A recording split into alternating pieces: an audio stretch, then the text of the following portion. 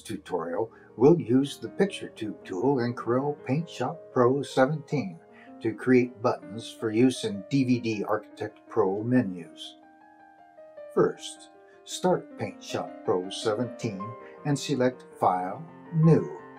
Set image dimensions to 1920 by 1080 pixels. Set resolution to 96 pixels per inch and select rastered background. Set color depth to red, green, blue 8 bits per channel and check the transparent box. Click the Add icon and name the preset DVD Menu Buttons and click OK. Then click OK to create a new image. On the Layers palette, double-click Raster 1 change its name to background-01 and click OK. Select View, change Grid, Guide, and Snap properties. Set all horizontal and vertical grids to 275 pixels.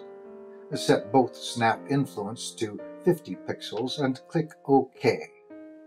Now select View Grid, then select View Snap to Grid. Select the Picture Tube tool. From the Picture Tube preset drop-down list, select the group of pictures you want to use as buttons.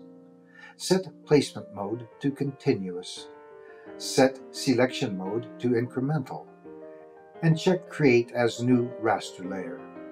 Now, move the cursor to the intersection of the bottom horizontal grid line and the far left vertical grid line and click to drop a new picture.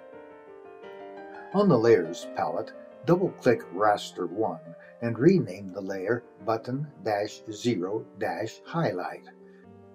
Then click the Settings Save Preset icon, name the preset Highlight, and click OK.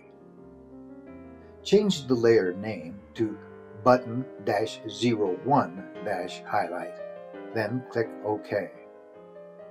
Now, on the Layers palette, right-click Button-01-Highlight and select Duplicate. Double-click on the copy of Button-01-Highlight and change the layer name to Button-0-Thumbnail. Then, click the Settings Save Preset icon, name the preset Thumbnail, and click OK. Now, change the layer name to button-01-thumbnail and click OK. On the Layers palette, click Background-01 to select it. Now, move the cursor to the intersection of the bottom horizontal grid line and the second from the left vertical grid line and click to drop a new picture. On the Layers palette, double-click Layer Raster 1, and from the Settings preset drop-down list, select Highlight. Change the name to Button-02-Highlight and click OK. On the Layers palette, right-click Button-02-Highlight and select Duplicate.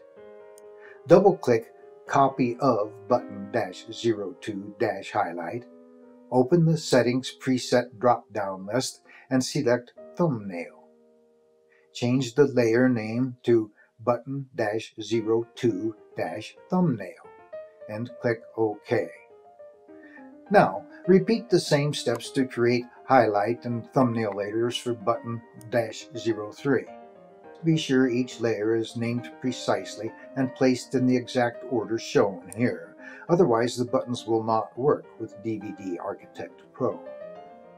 Finally, select File, Save As, Save As Type, and select uh, PSD Photoshop. Name the file DVD Buttons dash and give it a descriptive name dot .psd and click OK. The buttons are now ready to use in DVD Architect Pro menus.